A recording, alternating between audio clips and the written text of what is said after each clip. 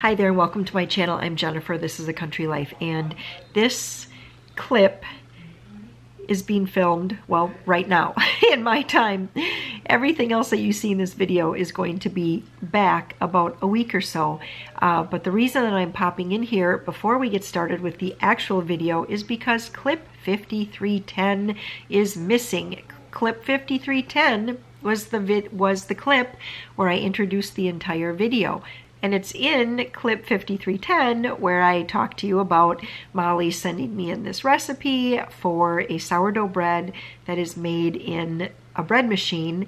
And I walk you through the process of that and getting the ingredients in. And I think I talked all kinds of information about sourdough and just kind of how how that's been going. If you've been watching my videos, you know how it's going.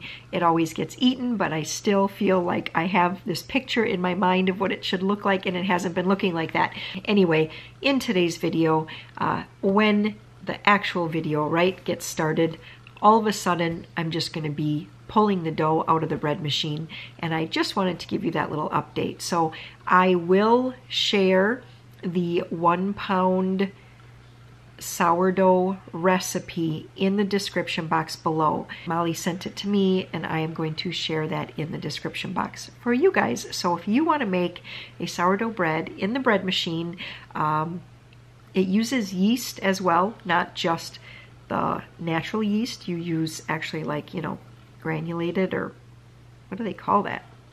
Granulated yeast? Maybe that's what it's called, just the yeast in a jar. All right, well, Anyway, I just wanted to jump on here first just to kind of get that out of the way for you guys so that when the video starts up, you're not like, wait a minute, what, what is going on? So that is what happened. I lost a clip and I had to kind of explain it to you. Today's video also is sponsored by Soligt. So in a little bit, you're going to see uh, a clip that I'm filming today uh, where I am making iced coffee although I am freezing cold, but I was ma I'm making some iced coffee and I'm using a Soligt product. So stick around for the Soligt product, which will be in just a couple minutes. It is an hour and I think, yes, an hour and 30 minutes later, the bread machine just beeped here. Uh, and life is just going on here. Maria's working on hunter safety. She has her first class tonight. Uh, Joe is playing. I have been making phone calls, trying to get through. We have to choose a new dentist. And so I've been trying to get through on that. Um, I'm having logos printed on a tote bag. So working on that project and just all kinds of things. Laundry and just all of the things. You guys know how that goes. But here is what the bread looks like. Remember, this was a very small uh, loaf. I was only doing the small loaf, which I think was the one pound. And it is a really nice squishy dough. Hey, Mama. Mm -hmm. I want to... Did it Where'd you get dough? This is a new way that I'm trying a sourdough. Interesting. So it uses sourdough, but it also use, uses yeast. It's warm. Yeah. It's warm. Mm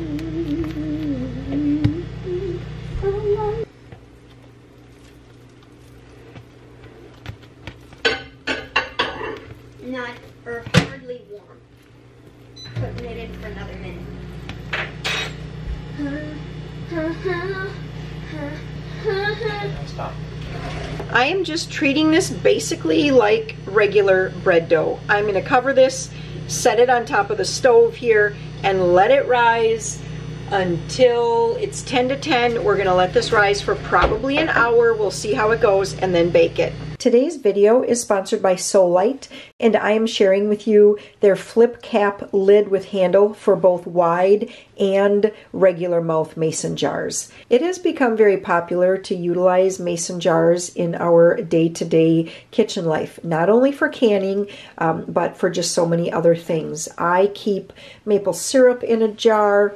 I keep iced coffee in a jar.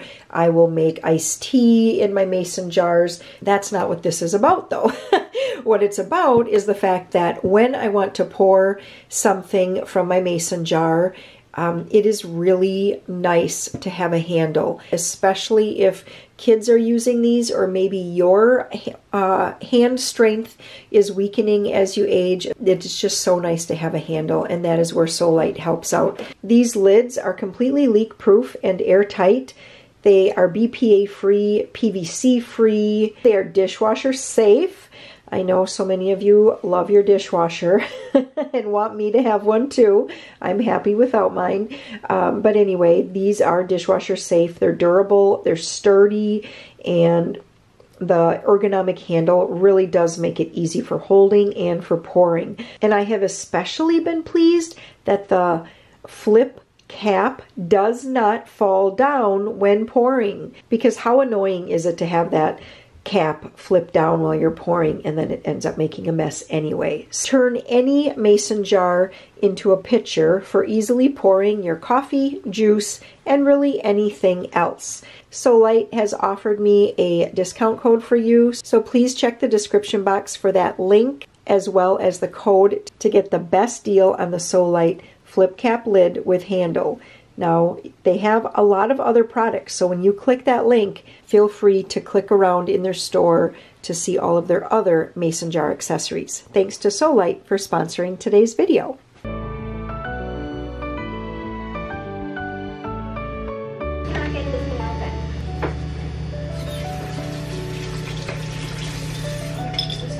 I don't know who put that lid on, but it's.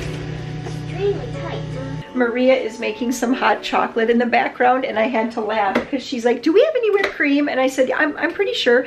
And she pulls out a container of Cool Whip. I'm like, yeah, see we have, or she goes, I see some Cool Whip or a Cool Whip container, but is it really Cool Whip or is it something else? everybody everybody knows that around here you never know what you're gonna get you open up a cottage cheese container and it might be leftover chili I am going to preheat the oven at this point. Since this is only a one pound loaf, I don't think it's probably gonna, you know, I don't think it's gonna get super, super high. Like, you know, a lot of times I would do a two pound loaf.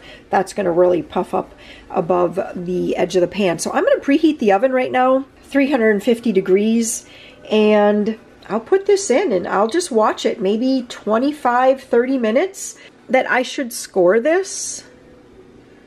I don't think that I should because the recipe is meant for the bread machine to actually bake it all the way through. Well, maybe I should read the recipe one more time. No, no, no.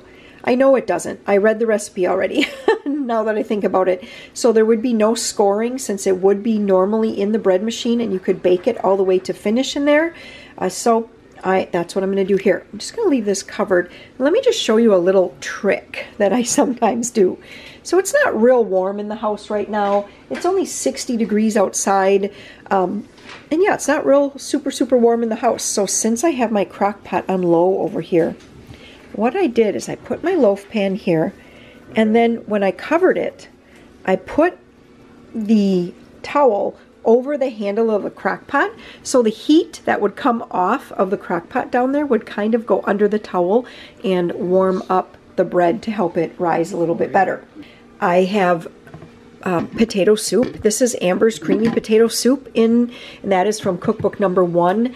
I actually made it with, when Maria and I did our grocery shopping for this meal plan, I, I didn't even have the potatoes on the list, uh, which would be two two pound bags, or I think they're like 28 ounces now or something, bags of the little square hash brown, frozen hash brown cubes. And so I had potatoes in the pantry and so that's what I did. So I just put these in on high yesterday because I really, really wanted those potatoes to cook down so they were soft enough so I could kind of start mashing them. And then actually what worked the best for mashing is the back of this spoon. So I just would, I just pushed it up against the side. Um, oh, I don't know, I probably did that for six or seven minutes uh, once they were cooked and that really mashed uh, a lot of the pieces of potato. So you got kind of that creamy cooked down uh, texture, which would be normal for when I use the hash brown squares. Those cook down a lot easier and get kind of like creamy and mushy a lot easier than fresh potatoes. Anyway, that worked out really well. Everybody ate it, but we didn't eat supper until 8 o'clock last night because it took a long time for it to cook. So if you are going to use fresh potatoes, definitely leave yourself lots and lots of time. We were fine because I baked banana bread, which is actually gone already. I baked uh, like one recipe but I put in two small loaf pans. One was eaten immediately in like that hour uh, as everybody was waiting and waiting and waiting for the soup to be done. And then the other one got finished off here this morning. Oh. Uh, the harvest crew came in because they had to wait for Warren to take in a semi. And they came in and so I just peeled up some, or sliced up some apples. Peter thawed some goose jerky and I sliced up the rest of the banana bread and that was all gone within a couple of minutes. So that is uh, kind of what is happening here. I'm gonna wait for this to preheat. We're gonna get that bread in is so disgusting my garbage can. Okay, I guess brushing his teeth is disgusting. Well, we're gonna have to we're gonna have to go make that happen, uh, and then he is going to be working on some schoolwork here, and we we're gonna work on that for about 45 minutes together. I am going to get some 50% off chicken thighs. So yesterday we ran in to get milk and this was the last package of 50% off. It is sell by today's date. And so I'm going to get this all, I'm going to pull the skin off of these chicken thighs and get these all into my Instant Pot. Get them cooking down because they need to have enough time to cool because tonight for supper, the next thing on Maria's meal plan is chicken fried rice. And so we're going to peel this all off the bone and then shred it up and use it for chicken fried rice tonight. If you are, oh, there's my timer. If you are brand new to my channel I just wanted to give you guys a look at the Amber's Creamy Potato Soup. That is going to be Joe's. Do you want a spoon? Yeah. Okay, they're right here. This is a staple for us through the fall and winter months. It's just one of our absolute favorites. And we call it Amber's Creamy Potato Soup because when Amber lived at home, she is, she's an adult now, but when she lived at home, she loved to find recipes for me and she'd be like, Mom, do you think you could make this? And this is one of the recipes that she ran across and it has just been made ever since then. So that's why we call it Amber's Creamy Potato Soup. And it is in cookbook number one. Also, let me see. And here is the recipe. Feel free to screenshot that and zoom it in if you need to. Otherwise, there will be a link in the description box if you want to purchase the cookbook and this was in for 30 minutes at 350 and I would say that that's done. We're going to let that cool for a little bit before slicing into it. So I guess today has just been all about the food. We are wrapping up the last little bits of potato soup and I did want to show you the like bread machine. I'm just going to call this bread machine sourdough or maybe we'll call it sourdough sandwich bread. Maybe that would be a better word for it too, um, or a better name for it. Anyway, this is what we have left here after lunch.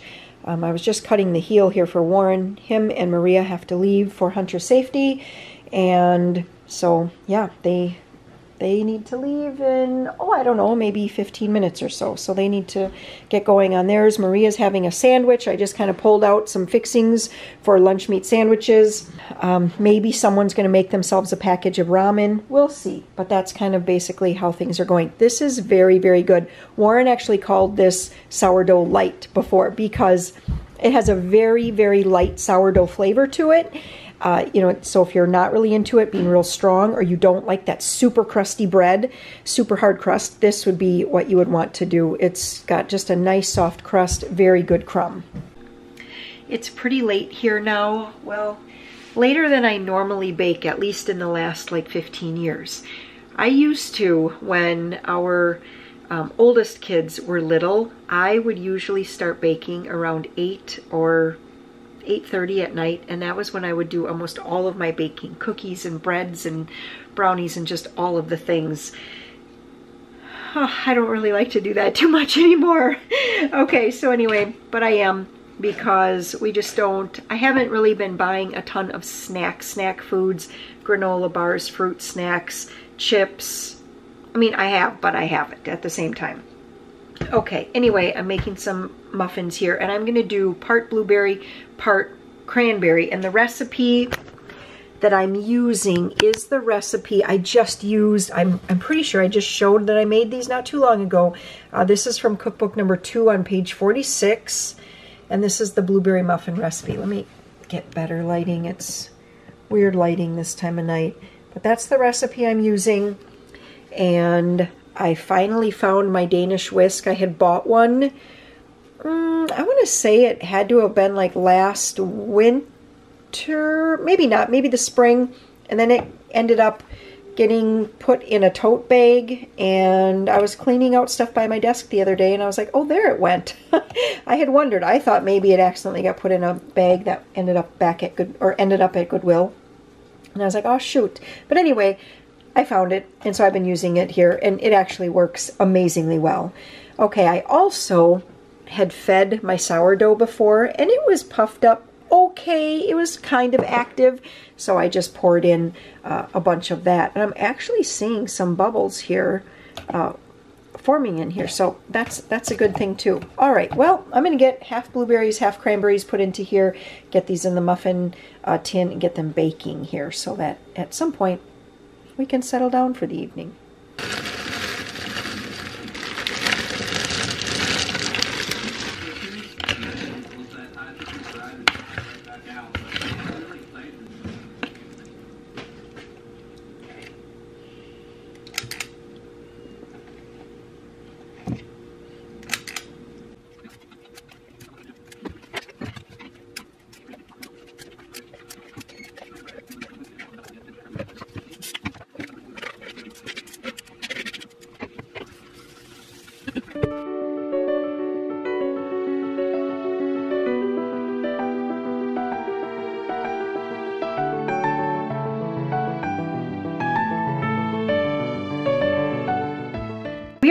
From our first homeschool co-op afternoon of the year, of the school year.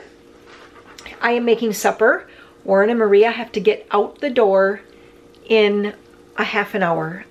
I'm a little bit concerned that I'm actually not gonna be able to get this finished and what am I gonna do for them? I'm not 100% sure here yet, but anyway, I may have to give it to them on the go. I am making chicken fried rice. I just stripped the meat off of the bones of all of the chicken that I cooked down in the Instant Pot yesterday.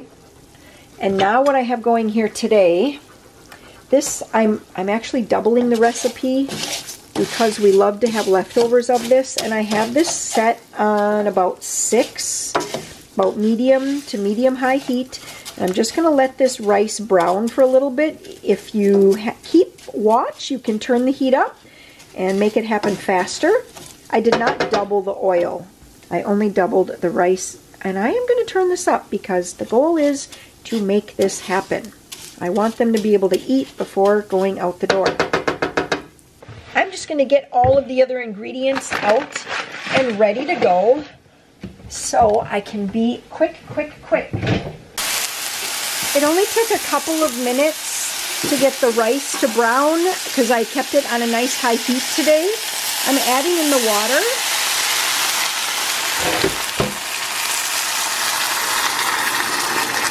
So sometimes if I am in a hurry, I will put the oh, uh, vegetables right in when I put in the water Mom. and the uh, or or the chicken broth. I'll put it in right away. Yes, top. that goes on the instant pot, which is over there in the closet.